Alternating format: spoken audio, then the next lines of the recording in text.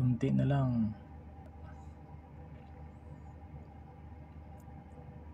Yan guys, so oh, yan, nililinis namin guys. Thank you for watching guys. Have a nice day.